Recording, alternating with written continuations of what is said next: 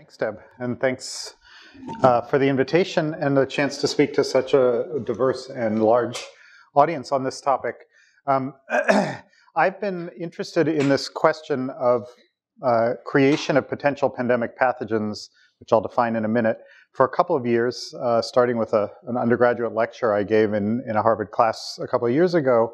Um, and when I gave the title the debate, uh, it's slightly disingenuous in the sense that I'm going to give you more of one side of the debate than the other. Um, and I think it's an important debate for scientists in all sorts of allied fields uh, not just virology but uh, or epidemiology, but uh, all the fields around it within biology and beyond to um, to think about. all of us, many of us who work with dangerous chemicals or dangerous pathogens, uh, do so with the knowledge uh, that we are putting ourselves at some risk uh, in the service of doing good science, and our society funds and and supports that work despite the risk to some, some people, uh, because we see the benefits of science. And so uh, we make this sense, we, we come to the sense that there's a risk benefit balance between the risks, like the risk that led to the death of the researcher in San Francisco a couple of years ago working on a meningococcus from a laboratory acquired infection, uh, that such, uh, uh, or the deaths in, in, other settings from chemical exposures. Um, we know that those happen, and we know that that's, and we accept that um, because we think science has benefits. And the argument that I want to make in a nutshell today is that we have a new type of experimentation where the risks have grown to be not just to the individual investigators or to a few people around them, but the risk of generating a new pandemic of a, of a highly virulent infectious agent. And that the benefits of that uh, experimentation have not been well defended, and in my argument are essentially small compared appropriately to alternatives. And I'll say more of what that means, but I want to start by the sort of disclaimer that I'm taking one of two easy positions to take. You can either say the risks are small and the benefits are large, and then it's easy, or you can say the risks are large and the benefits are relatively small, which is the position I'm taking, and then the decision is, is pretty clear.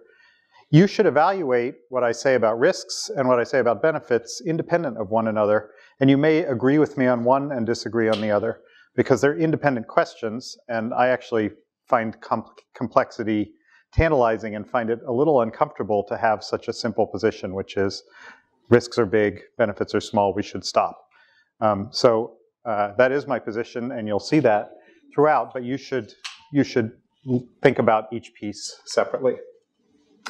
So uh, in that same vein, these views are my own. They are not the, uh, they're the result of many conversations with colleagues, some of whom are listed here. They're certainly not necessarily the views of the NIH or par any part of it, uh, which is one of my, which is my major funder. Um, and uh, some of this, much of this material uh, in an earlier version is in a uh, paper in May in PLOS Medicine. So the title is, The Debate Over Potential Pandemic Pathogens.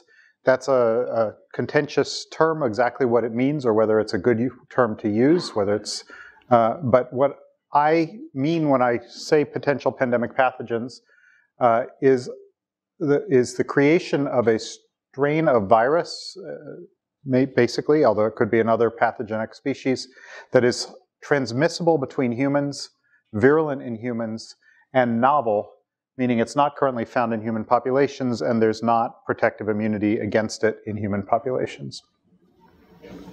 The kinds of experiments that triggered the current discussion uh, mostly, uh, almost exclusively have been with influenza virus. And the, the typical setup is to take a virus, uh, an influenza virus, do a combination of genetic engineering uh, on, the, on the RNA sequence of that virus and selection experiments in ferrets, usually, sometimes guinea pigs, in which the, the uh, virus is passaged from, one, from the nose of one guinea pig or, or uh, ferret to the next, And then after several such passages, uh, it is allowed to move through airborne droplet transmission uh, from the cage of one ferret to another cage uh, via only airflow and no contact uh, in a setup like the one you see there. Throughout the process, these viruses are sequenced. Uh, they're usually quasi-species that come out of the genetically diverse viruses. Um, and so they're deep sequenced and they assay various phenotypes of these viruses. And then that's repeated to enhance the selective pressure and get more and more uh, transmissible viruses.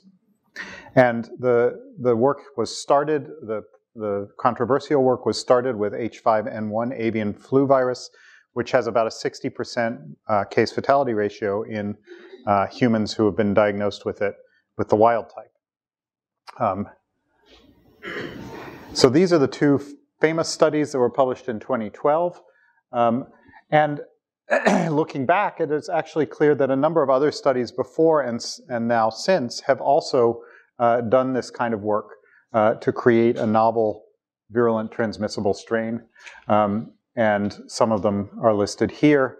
Um, notably, they include a, a, variety of different viral subtypes, um, including ones that have been seen in humans and ones that have not been seen in humans. The ones that have been seen in humans justify uh, the studies in the discussion as if we have to understand whether they're going to become pandemic, and the ones that haven't been seen in humans are justified as they haven't been in humans, so we need to study them. So apparently, you start with premise A or not A, and you get to the conclusion we should do this study, which is a lesson for all of us in grant writing. Um, the funders of these experiments to date uh, include uh, governments and the European Union and major foundations. Um, the US government and China have been the largest funders, I believe, at least in terms of amount of publications that I've been able to find. Um, the Gates Foundation uh, did this some early and has, uh, at least some members, some high up people in the Gates Foundation have said this will not continue. And then on October 17th, so a couple of weeks ago, uh, a big event happened, which is that uh, the White House announced a pause on funding of these, of these experiments. And the statement was that US, new US government funding will not be released for gain of function research projects reasonably anticipated to confer attributes to influenza, MERS, or SARS viruses, such that the viruses would be more pathogenic or transmit more readily by the respiratory route. And they specifically exclude characterization or testing of naturally occurring isolates, which I think is a very important exclusion. Good, good idea, um, because those are not nearly so dangerous. Uh, a little bit of a surprise was the inclusion of MERS and SARS viruses. Much of the controversy really had been around influenza, um, and uh, it was a little bit surprising to find MERS and SARS on this list, but it was. But they were. So I want to talk about the risks of such studies, the ethics of such, uh, of how to think about such risky studies, um, the benefits and some alternatives and ways of evaluating alternatives um, or evaluating these experiments in comparison to alternatives. Um, so the, the evaluation of risks uh, came into sharp focus last summer when three incidents in government labs uh, prominent government labs occurred. There was a, a ex potential exposure of several dozen CDC employees to anthrax due to an inadequate decontamination of a sample. As far as we know, no one was infected, uh, but many people were, were treated prophylactically uh, to prevent infection. There was a mix-up of a highly virulent flu strain with a less virulent flu strain uh, that was mailed out from the CDC. Um, and there was a uh, discovery of smallpox, and then it turns out quite a number of other pathogens sort of stuck in a freezer that no one had looked in for a long time uh, at an NIH FDA facility. This got policymakers' attention. It was actually not really big news if you had been following the, the pattern of experiment of, of accidents. Research comes with risk. Humans are involved. All three of those involve some sort of human error or forgetfulness. And in fact, if you look in the literature, there are papers reporting the rate at which uh, such mishaps occur, which is remarkably high. It's about twice a week with select agents alone in the United States. Um, twice a week uh, that that something reportable with the select agent happens, a loss event or a uh, or a um, ex potential exposure. The number of actual infections is much less, but still uh, calculable, and that's the first piece of the the input into the risks that I'll talk about. So. As you know, politics focuses on stories. It doesn't usually focus on statistics. And this got everyone's attention. Uh, those of us who have been concerned about it tried to use that, those events to get people's attention by writing articles uh, and, and making fusses. But this is not a one-off story. This was an example of the sort of routine fact that even the best labs make mistakes. And that's something we can usually accept and sometimes shouldn't. So the category of creating potential pandemic pathogens or novel strains of influenza to me is a uniquely dangerous and risky activity compared to some of the other risky activities that we do and should be doing in labs. So I've compared here four different types of activities. Uh, work on Ebola virus, for example, um, in, la in laboratories. That virus, as you know, has high virulence. Uh, we hope that, the, that we can still say it does not have pandemic potential in the sense of global effective global spread. And I think if it, if it escaped from a laboratory in a developed country, it probably would not be the source of global spread. Hopefully nothing will be. Um, but certainly uh, it has not been considered something that's capable of spreading widely in, uh, in the developed part of the world. And it exists in nature, and so there's an argument that putting it in a high containment lab is uh, not in any sense making it more dangerous than having it out there uh, infecting people. Nonetheless, because it's so virulent, we do it in BSL biosafety level 4. If you go to the next uh, category, which is the characterization of natural highly virulent uh, flu viruses, those are highly virulent. They don't have pandemic potential yet because they aren't readily transmissible in people. They do exist in nature and in uh, zoonotic infections of people, and we do that at a lower biosafety level, as we should probably. Um, smallpox is the most highly regulated pathogen at the moment, uh, at least prior to this funding pause. Only two labs in the world are allowed to use it, and the experiments that they're allowed to do are highly restricted and go through extensive committee approvals. That's because it combines high virulence and high transmissibility, pandemic potential, um, and doesn't anymore exist in nature. And so, uh, although there's some immunity from prior vaccination and a few uh, natural cases, basically the world is relatively naive to smallpox. And that's why it receives such high containment. The work that uh, of creating transmissible virulent uh, uh, flu viruses is like smallpox in those three ways, but is done at a level of biosafety intermediate between H between natural characterization of uh, natural isolates of flu and, uh, and the work on, uh, say, Ebola or other filoviruses. So I said accidents happen, and there's a long list of them uh, that are that I'm starting with the, the sort of most notorious and severe. The outbreak, uh, large outbreak of foot and mouth disease that occurred in the UK uh, in the last the previous decade was an escape from the Pirbright Biosafety Level 3 agricultural lab. There was a, a release of uh, SARS from a lab in Beijing in 2004. So after the epidemic was over, uh, the natural epidemic was over, um, and that was from a biosafety level 3 lab, and there were seven secondary infections before, uh, before it was controlled. And most people who have studied it think that the 1977 reemergence of H1N1 flu which had not been present in humans uh, since 1957, uh, when, when a new strain of flu replaced the currently circulating H1N1. So it then reemerged in 1977, and the sequence looked like about a 1953 or 48, something mid 1950s-ish isolate. So the conclusion was that that isolate had been genetically frozen, therefore must have been physically frozen, and there are sort of two hypotheses. One is it was in the permafrost in some somebody's dead body, uh, which is not impossible. Or the other is that it was in a laboratory freezer in probably China or Russia, and uh, as they were trying to make uh, do experimental work on it, they it was released and became the circulating strain until 2009. So we had 22 years of global spread of that virus, probably from a lab accident. If you look at, accident, at accidental infections that don't result in uh, onward transmission, there are a bunch more. Uh, and this is a list of them. I won't go through all of them. My favorite is, uh, because it illustrates human error, is the person who thought they were doing a West Nile experiment in 2003 in Singapore and found out that their vial was contaminated with the SARS virus, uh, unrelated to West Nile, and was, uh, was infected by that SARS virus. So this is a little bit busy slide, but if you take those anecdotes and the other anecdotes and you actually keep track of them carefully, um, as the CDC does in a paper uh, published in, in uh, 2012, over the period 2004 to 2010, there were at least four laboratory associated infections in biosafety level 3 in the United States with select agents, and that reflects something less than 2,000 years, lab years of work.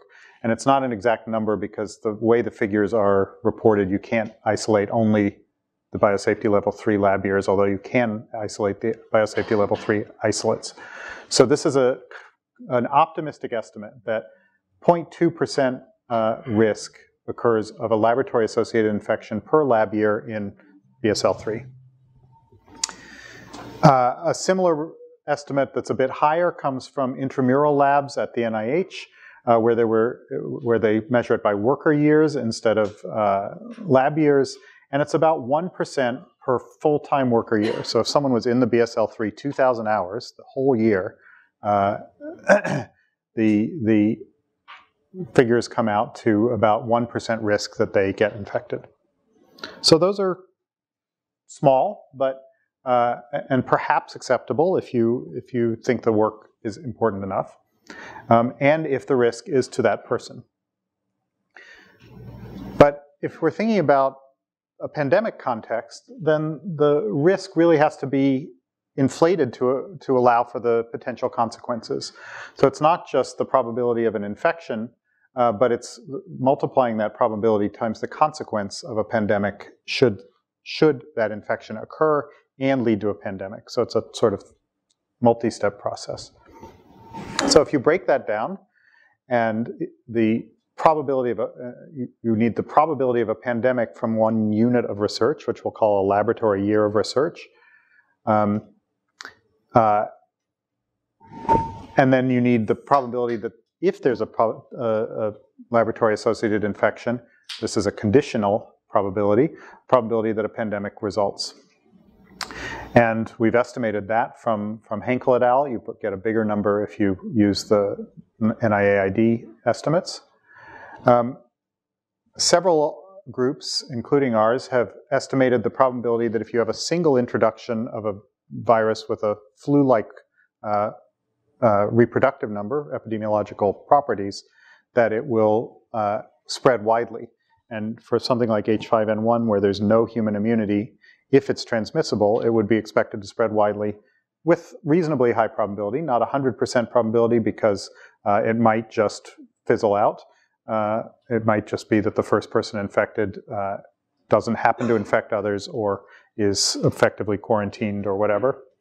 Um, the the estimates that uh, that I did and that my that Jamie Lloyd Smith did don't take into account those sort of quarantining and countermeasures. A more recent uh, estimate from a group uh, in Europe suggests, including uh, which includes those countermeasures, suggests uh, it's around 10 or 20% probability that a single laboratory infection would result in uh, extensive global spread.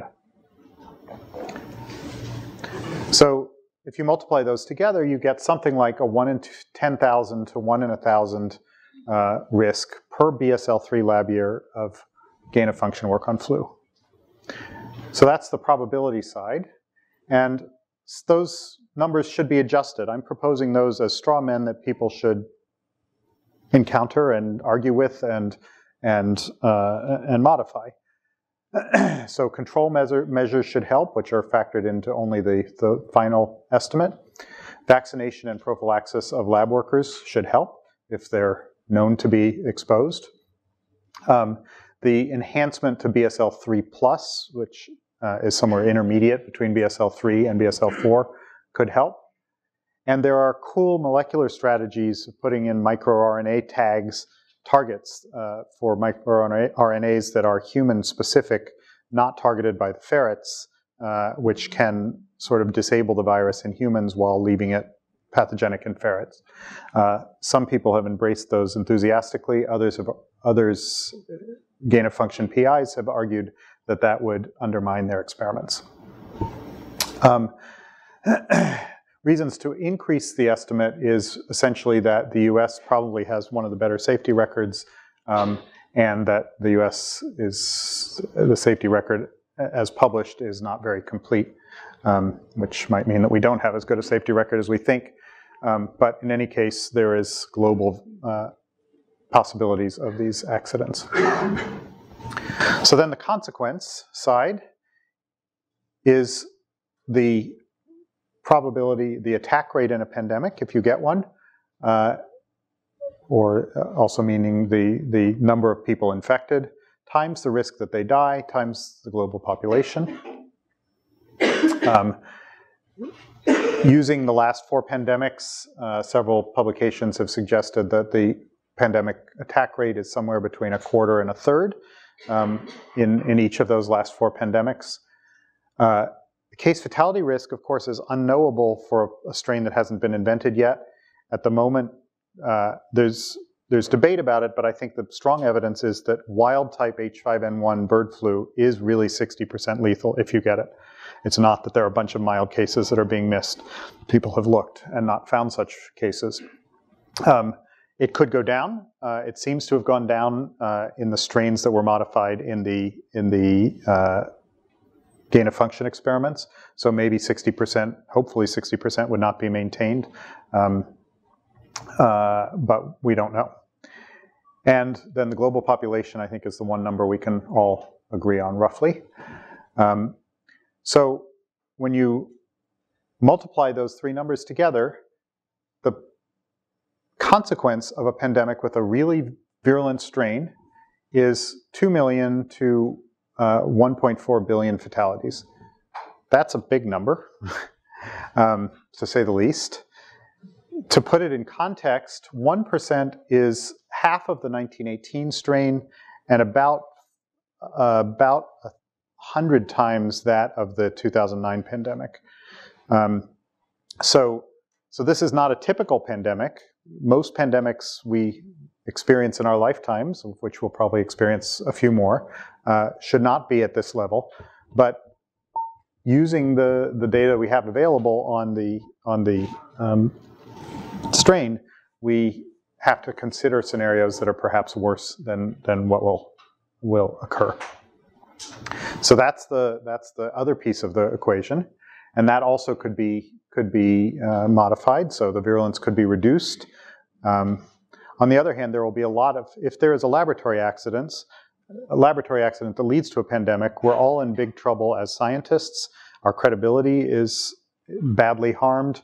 Uh, schools will be closed. All sorts of things will happen that are that are not counted in those mortality costs. So if you multiply those probability times the consequence, as people do for other dangerous activities that, that have a small risk of a bad consequence, like nuclear energy or, um, or uh, in fact, other, some other kinds of scientific experiments like the building of the Large Hadron Collider. People have made estimates like this.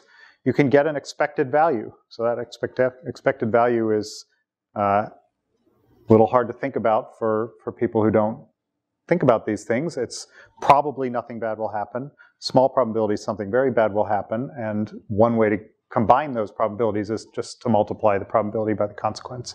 And you get somewhere between 2,000 and a million plus fatalities per year of experimentation. So again, don't, don't take these numbers at face value if you don't want to find other ones. The, the reason I go through them in rather excruciating detail is that none, none of the consideration up to this time has used any numbers. risk assessment in this context has been a bunch of people sitting in a room and saying, yeah, I think that lab's pretty safe. And that's not acceptable when you have uh, these kinds of numbers available and on their face they look look uh, unusually bad. So I don't, I'm not wedded to any of these numbers. Pick your own uh, well-supported numbers. But if these numbers are within a factor of a thousand of being right, then we should think really hard. I mean, say they're say they're a thousandfold overstated and it's actually two fatalities per BSL-3 lab year. We would not be happy running a BSL-3 lab that we thought was going to kill two people for in the same year. Right? That would not be a kind of trade-off we would take in, uh, happily in society, or as the director of a BSL three lab. So these are presented for you to think about and to challenge. Um, it's worth noting that this work is happening in at least six countries. Um, there is global variation in lab standards and in the enforcement of those standards. And uh, I think what we do in the consideration during this funding pause uh, will be watched very closely by other countries. So in thinking about these experiments, it's, it raises ethical questions because people's lives are being put at risk. There is a benefit that's seen as a, as a reason to put those lives at risk. And we need some principle on which to weigh those. And again, I'm not going to try to convince you this is the best way to weigh them, but I think it's one, one way to weigh them uh, that, uh, that's worthy of some thought. As all of you who've done human subjects training know, the probably most influential document in bioethics is the Nuremberg Code. It does not apply to these gain of function experiments. It is, it is about experiments on identified human subjects. It says if you're going to put human life at risk in an experiment to, say, test the efficacy of a drug or a vaccine, it should satisfy certain criteria, two of which I've listed here. It should be, the experiment should be such as to yield fruitful results for the good of society, unprocurable by other approaches, and that the humanitarian importance of the problem to be solved uh, should be enough to justify the risk. So it says, if you're going to put you and you and you at risk by being subjects in my clinic, if I'm going to put you at risk because you're subjects in my clinical trial, it better be the case that I've thought of all the other alternatives and concluded there's not one to get the same benefit, and that the benefit is big enough to justify the risk. So, as I said, that's, that code does not apply to this, but I think it suggests that we share some, some moral intuitions about what it's okay to do and what it's not okay to do to put people at risk. And I would say that putting people at risk who are not even aware that they're being put at risk entails at least some of the same obligations. A remarkable statement that I only learned about about maybe a year and a half ago, but all of our leading scientific bodies have signed up to is this statement. Scientists have an obligation to do no harm, and they should always take into consideration the reasonably foreseeable consequences of their own activities. doing no harm is actually a really high bar, and I, am not sure I agree with that. I'm not sure. I mean, we do harm every time we get on a plane to go to a conference, but we, we, uh, you know, no harm is a very, very high bar. But nonetheless, that is the uh, that is the statement that our academies of science have signed up to, um, and I think it's worth at least considering.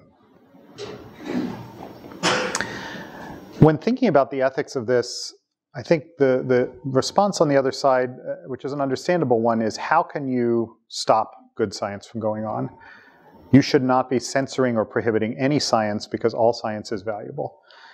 And that has a certain plausibility until you serve on a study section, or even worse, submit something to a study section and get it back with the 11th percentile. Most good science that could yield benefits for society is not done. It's not done mostly because we don't have the money to do it, uh, or we don't believe that our society has the money to do it, or because the reviewers believe the benefits are too small, or that there are better ways to do the science that the uh, reviewer thought of and you didn't. We don't do certain science because IRBs prohibit it. We don't do experiments to figure out people's cold tolerance by immersing them in, in ice water the way uh, was done in the past because that's considered bad, uh, unethical, and un unallowable. We don't do certain experiments on animals that would be interesting to learn from because the harm to the animals is too great. And we don't do, for example, smallpox experiments that might be interesting, some smallpox experiments, because the risk uh, of biosafety is too great. So this is not a, this funding pause, which by the way applies to 20, uh, roughly two dozen projects in the four or so billion dollar NIAID budget. It applies to 24 projects or so. Um, this is not a sort of chop at the heart of science. This is a reprioritizing and saying this kind of science is too risky, at least for the moment, and we need to think about it before we do it. So what about the benefits? Obviously, this work is being done by people who believe, for, for in some cases good reasons, that it's beneficial for the progress of science and also for public health. And I think there's some merit in that, and I, I would agree that there are some benefits. I think most of those benefits can be achieved by other means uh, that, that do not involve creating these potential pandemic pathogens, and that'll be my last section. But I want to talk about the benefits because I think, again, we all do the work we do because we see benefits, and we all uh, justify it in terms of, uh, of what it can do for society, not only for pure knowledge. Arguably, the first uh, gain of function experiment uh, in current terms was this experiment in 2005 where a group at CDC and NIH and elsewhere reconstructed the 1918 pandemic flu virus. There was uh, a lot of discussion about whether that was a good idea. There was some discussion about whether that was a good idea. Uh, none of it quantitative, as far as I'm aware.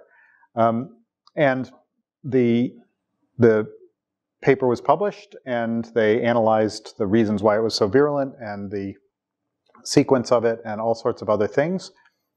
And then uh, about a year ago, the, the authors of this paper published an article describing all the public health things, benefits that could not have been possible without this. I don't think any of those are true. It's not that the, this was not useful. It's that there are lots of public health benefits that we got from our general knowledge of H1N1 flu. None of them required making the virus. We didn't get any new antivirals or vaccines based on this work. In the 2009 pandemic, for example, there was, uh, there was a question about whether people who were old enough to have seen this virus uh, would be protected by their antibodies against the then, the then new 2009 virus. And that was an important hypothesis to test. It was tested. The answer was yes. And that's claimed as a, as a success for reconstructing this virus. It's not. It's a success for thinking about this virus. You didn't even need the sequence for that. You could use the sequence for other things. But the, the, there has been a tendency, I would argue, among the proponents of this kind of work to overstate the benefits and especially the essential benefits, the things to the, the benefits for which their work, the gain of function work is essential. Um, and so I think that's a worthwhile thing to think about in evaluating other claims of benefits. The largest benefit that's been claimed recently uh, for the recent gain of function experiments is that if we know what to look for out there when we do bird, when we do surveillance of flu in birds, we can uh, cull the birds that have dangerous looking viruses. We can prepare vaccine stocks uh, against pre, pre-pandemic vaccine stocks. So these are strains that aren't infecting any people or are only infecting a handful of people, but might someday become pandemic and we can stockpile vaccines as we do right now for H5N1. The US has about 100 million or so doses of H5N1 vaccine, even though there are no cases of that, that virus in the United States. So it's a reasonable idea that we would use our surveillance, uh, use what we learn about transmissibility to prioritize uh, um, viruses for such, such uh, countermeasures. The problem with that is that in the last five years, there were about 1,600 outbreaks of flocks that were infected with highly pathogenic avian flu. And there were about 1,600 sequences of one virus or one part of a virus deposited in each of two databases, some of them overlapping, but, but let's call it two, two sequences per flock that was known in the world to have these. So we are not getting a comprehensive picture of flu virus, given that each flock has many birds, each bird has many virus sequences, um, and that uh, that we're getting two per flock on average. And it's taking roughly almost a year before the general public gets to see these sequences. Now, the people in WHO get to see it sooner than that, but uh, this is not a sort of high speed endeavor of find the virus, take an action, analyze it, take an action. We can't do that. We don't have that kind of surveillance in place. I think maybe the most telling example, though, is what we've done in response to H7N9, which some of you will remember, uh, most of you will remember, uh, is a strain of virus, flu virus that has been problematic the last two winters, uh, zoonotically infecting humans in China and in a few other places. Um, without any gain of function data, without any knowing of the sequences in the gain of function experiments, we know that H7N9 is as concerning as any virus could be before it becomes pandemic. There have been four documented, pretty well documented cases of human to human transmission. If you look at the uh, sequence and at the phenotypes of the vir viruses isolated from the people, not the ducks, but the people uh, who get it from the, from the animals, those viruses show human receptor binding phenotypes, which is one of the most important phenotypes for transmission. And if you put those viruses from people into guinea pigs or ferrets, they transmit. So they've, they've gained ferret transmission, which argues, by the way, that ferret transmission and easy human-to-human transmission are maybe not the same thing. Um, but all those danger signs, none of which required gain-of-function studies, should have said, this is a high priority virus. And if there were actions to be triggered, the, those should have been triggered by these danger signs. Despite that, we have allowed zoonotic transmission to continue. We let the let the bird markets had the bird markets close briefly in China, um, and more cases. This is a year-old slide, but the still true. The last winter there were more cases, and there are more cases expected this winter. So I don't think it's the case that when the world sees a high-risk flu virus, we drop everything and prioritize countermeasures. We do, we go about our business um, to a large extent. Um, the other argument that's been made more in the past and now seems to be resurfacing is that we need to know this for vaccine design. We can design better vaccines if we know what makes a flu virus transmissible. I find that not totally implausible because more scientific knowledge is probably helpful, but we don't know the molecular basis of transmissibility in any pathogen, and we have about three dozen good vaccines that work pretty well. We have a flu vaccine that doesn't work very well, um, but but none of those do we know. You know, Jenner didn't know the the DNA sequence of uh, smallpox and did a pretty good job, and in fact. Uh, what you look for is things that are highly antigenic, things that are safe, um, and not particularly things that are transmissible. And that's not just my view. The former head of Merck Vaccines has, has made the same point in a letter to Science.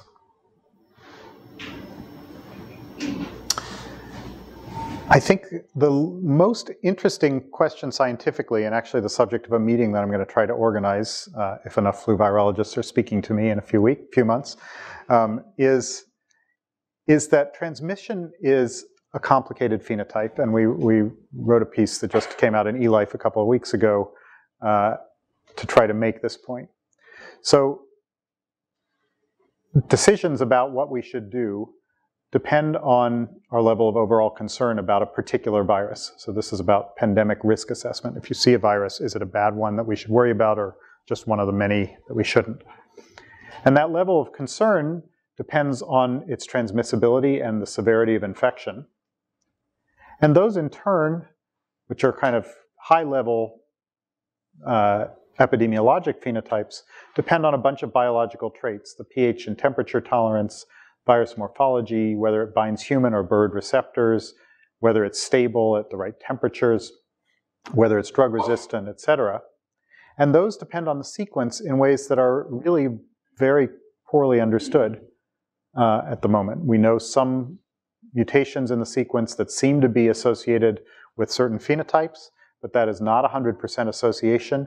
Um, and when you, uh, when you take some of the most famous mutations that are supposed to do have a certain phenotype, you can find a counterexample. For example, this is the, a favorite of many virologists um, as a, a, mutation in the, the basic polymerase subunit. and it's because in many backgrounds, it increases virulence and transmissibility of the, uh, of the virus. The very group that started this whole uh, controversy, the Fouchier group in, in the Netherlands, published a paper saying that in the pandemic strain, where it was identified that they had this mutation some, in some strains uh, and people worried about it, they showed that, uh, in fact, it changed neither virulence nor transmissibility. There are a lot of other examples. And we should try to understand this better. And there are certainly many uh, important scientific questions. But uh, the idea that we have an immediate application, I think, is an exaggeration. Um, so this is kind of a flow chart of the, the potential benefits uh, as people have, have suggested them. And I think I'll skip it because it takes a long time. But, but essentially, this epistatic this problem of epistasis and uncertain genotype-phenotype mapping uh, is sort of at the root of all the all of the issues with claiming benefits. And then there are some more specific benefit, uh, some more specific concerns that I've mentioned uh, about the other two about the two benefits that are that are claimed. So the last thing I want to talk about is alternatives. And the basic argument I want to make is that there are more mechanistic approaches and safe ones to understanding how flu adapts and transmits in humans, and that these can better serve the public health goals of defeating flu. And then secondly, that we don't have to understand our enemy to defeat it.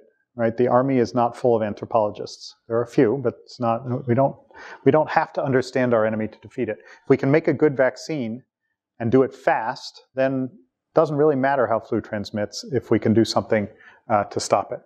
Um, so developing better measures to prevent and treat it uh, is possible even if we give up on the science of transmission, as interesting as it is. So I think the wrong way to think about the, the gain of function question is should we do this work or not? Because there are benefits to doing the work.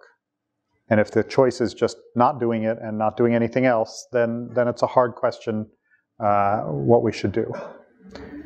But that's not actually the alternative. The real, we have a budget for the National Institutes of Health and for others who, who uh, are concerned about this, CDC and others. And we can spend money on one thing or we can spend money on other things. And I would argue, and we make this claims much more extensively in the published paper, so I won't belabor it. I would argue that the only category that has high risk to life, only category of experiments are the two dozen or so projects that create potential pandemic pathogens. Those are also relatively low throughput and relatively ungeneralizable in the sense that only a very small number of virus strains can be identified. Um, the sample sizes of ferrets are in the range from two to eight. So the statistics are uh, unsupported, I would say, um, in, in most of these experiments. Alternatives including work, include working with pieces of the virus or defective viruses in vitro, which by definition can't infect anyone. They have higher throughput because they're cheaper.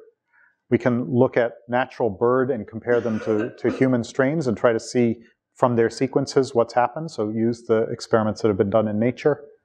And then we can do other things that are not about learning how flu transmits, but are very useful, like developing a universal vaccine, which could be used to treat, to, to prevent a, a, wide variety of strains, uh, not just the not just the bad ones. Um, we can work on the technological aspects of accelerating vaccine production, um, which has been done, uh, for example, by Novartis uh, a few uh, about a year ago. They published a, a paper showing the, the, creation of a vaccine seed stock in five days once they had a sequence. Um, we can work on host-targeted therapeutics, all sorts of other things that are not about understanding the virus, but about killing it. So how should we think about these alternatives? This is a cartoon version of how I think we should think about it. Essentially, we have a portfolio of things that we do to try to stop flu. And we should make that portfolio large, uh, and we, we do to some extent. It should probably be larger. Um, and on one hand, we can consider a portfolio that has gain of function and other work on flu biology and other work that's not flu biology but is toward the same goal. And we should compare that against the same money spent on alternative approaches to flu biology, alter alternative uh, mechanisms that are not flu biology and not gain of function, but taking into account the opportunity costs that these relatively expensive gain of function experiments have. We should weigh those benefits and say and ask whether expanding these other things could get some of the many of the same benefits as gain of function, at least in the public health arena. It would not get exactly the same scientific results. And we should ask which of these we favor. And on the side favoring alternatives, we should place the risk of gain of function, which, if it's anything like what I described, is a very heavy weight. On the other side, we could put the risks of the alternative approaches, but those risks number in the very, very small to zero range. So it's uh, so there's not much weight on that side. Um, I think when you do that, if you believe actually either the risk or the benefit part of what I said, you might end up uh, favoring the use of alternatives instead of gain of function. If you believe both, uh, then you, I think, really have to favor the alternatives. Uh, and if you believe neither, then then you should conclude uh, uh, that we really should continue gain of function. This is a public discussion. It will be had over the next uh, year. There will be meetings at the National Academy, meetings at the National Science Advisory Board for Biosecurity. Um, they will be soliciting public input. Uh, they will be getting a lot of input from those who have a very strong interest in the continuation of the work that they are funded to do. Um, and so I hope that some people will find it uh, attractive to participate in that discussion because I think it's really fundamental to what we do in public health and how we think about the uh, responsibility of scientists um, to do work that is harm, helpful um, and reduce the risks as much as we can. So rather than reading conclusion slides, I think I'll stop there and ask for discussion.